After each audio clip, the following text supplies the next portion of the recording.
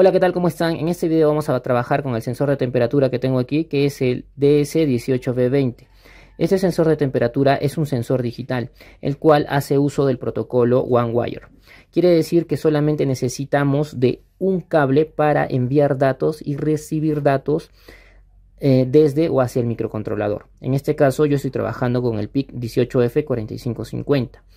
En la pantalla LCD que tenemos conectado o conectada, estamos apreciando que la temperatura en este momento del ambiente es de 21.87 grados centígrados. Sí, este sensor de temperatura nos va a permitir trabajar con rangos de temperaturas positivos y negativos. La programación de este circuito o de este ejemplo lo realicé en el IDE de MPLAB X utilizando el compilador XC8.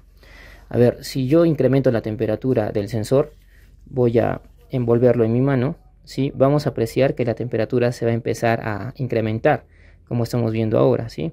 Sube 24, 25, 26 y va a seguir subiendo así sucesivamente. Si yo dejo de incrementar la temperatura soltando el sensor, vamos a ver que la temperatura se va a decrementar poco a poco. Voy a dejar el sensor allí sobre la mesa y tenemos que ver que la temperatura tiene que empezar a disminuir. Como les he comentado, estoy utilizando el IDE de MPLAB X y la programación y simulación yo les voy a dejar en la descripción del video. ¿sí? Ahora vamos a ver un poco o les voy a explicar un poco de la programación para que ustedes puedan implementar este circuito. Bueno, ya estamos aquí en el IDE de MPLAB X y este es el programa para poder utilizar el sensor de temperatura DS18B20.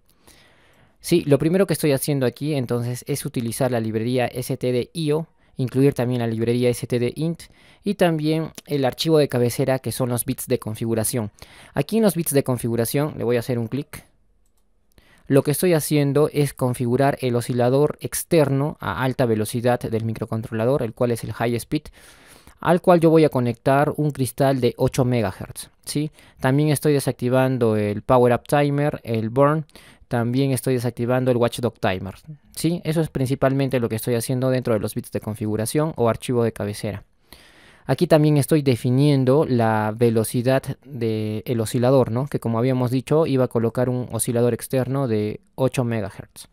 Entonces retornamos a la programación y también estoy incluyendo el archivo de cabecera, el cual es para trabajar con la librería LCD 16x2.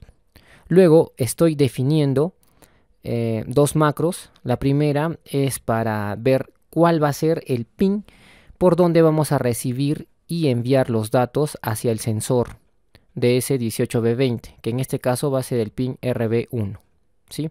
Entonces con este nombre de ese 18B20-pin, yo voy a establecer a este pin que es el pin RB1 a nivel alto o a nivel bajo dependiendo de cómo lo necesitemos, ¿sí? Y mediante la otra macro que es el DS18B20-pin-dir vamos a establecer si este pin se va a comportar como entrada o salida digital. Esto mediante el registro TRIS. Luego también estoy generando una variable de tipo array, que es un buffer, el cual es LSD buffer, ¿sí? Pero no vamos a utilizar esta variable ya que vamos a copiar directamente el valor del array en la pantalla LCD, ¿sí?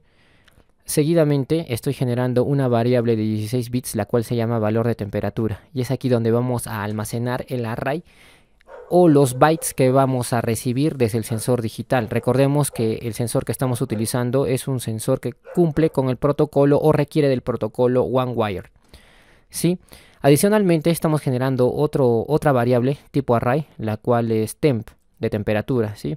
en la cual vamos a tener tres valores decimales y cuatro, perdón, tres valores enteros y cuatro valores decimales. ¿sí?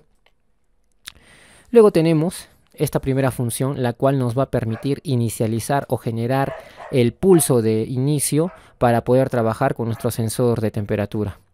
También vamos a generar una función la cual nos va a permitir escribir un bit en el sensor de temperatura.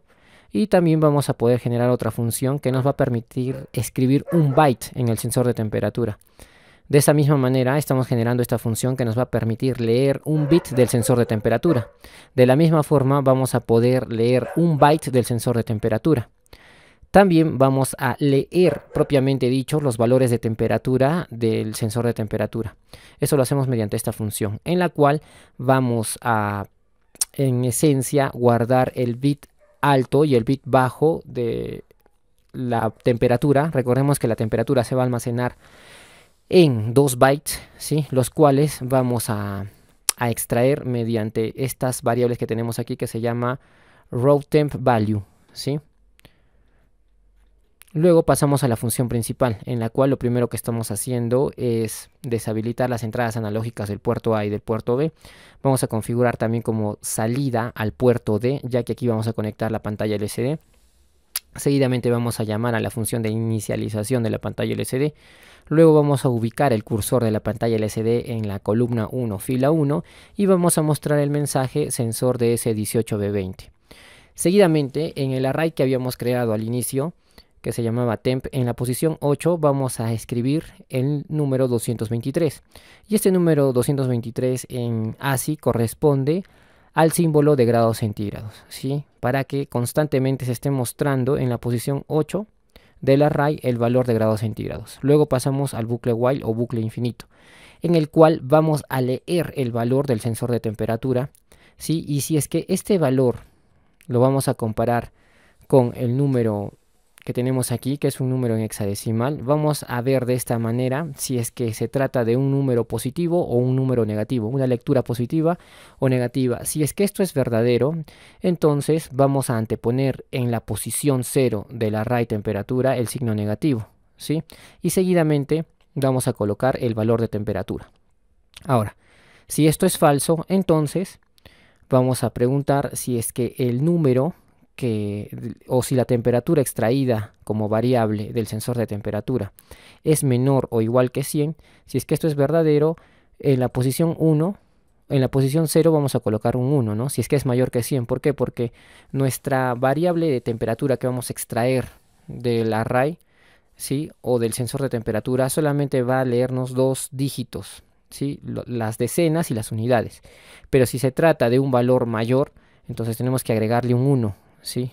que sería de las centenas. Por eso preguntamos si es que es mayor que 100. Si es que es mayor que 100, entonces le agregamos un 1 a las centenas que corresponde a la posición 0 del arreglo de temperatura.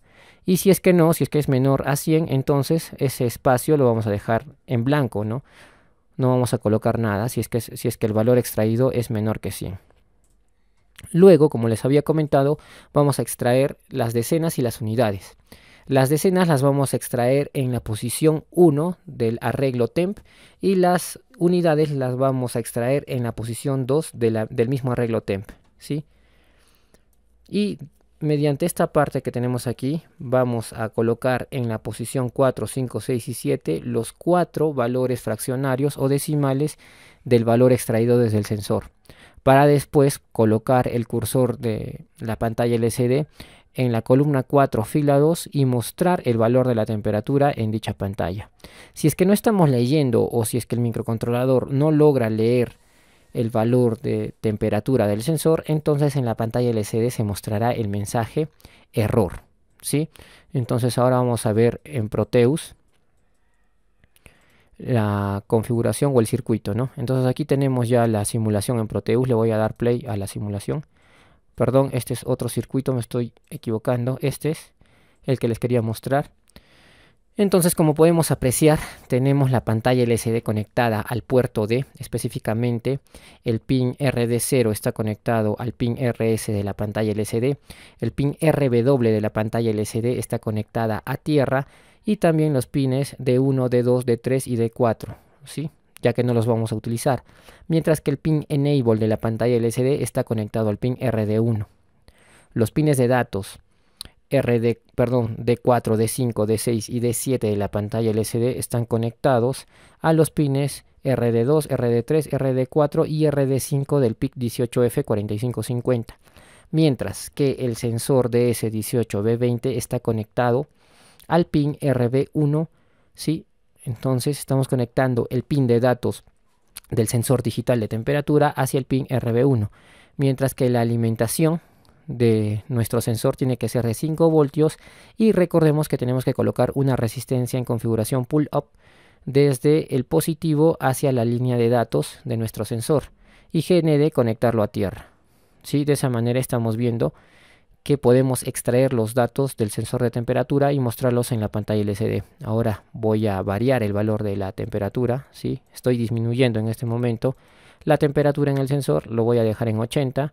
Vemos que el display de nuestro sensor nos marca 80 y en nuestra pantalla LCD también apreciamos los 80 grados centígrados. Ahora, si yo desciendo por un valor o debajo de un valor menor que 0, o sea un valor de temperatura negativo, también se tiene que mostrar el signo en la pantalla LCD. Lo voy a hacer en ese momento. Voy a bajar hasta menos 10 grados centígrados y apreciamos que en la pantalla LCD también nos aparece el valor de menos 10 grados centígrados. De la misma manera podría subir la temperatura hasta un valor superior a 100 grados centígrados. Lo voy a subir ahora. Sí, estoy subiendo. Y vamos a dejarlo en 110 grados centígrados. ¿sí? En la pantalla LCD entonces nos está mostrando el valor de 110 grados centígrados. Y de esa manera queda verificado que el programa se está ejecutando correctamente. Ya saben, yo les voy a dejar la descripción y la programación. Perdón, les voy a dejar la programación y la simulación de este video en la descripción. Sí, ustedes pueden ayudar, ayudarme suscribiéndose al canal, compartiendo este video y dándole like. Eso sería todo. Muchas gracias.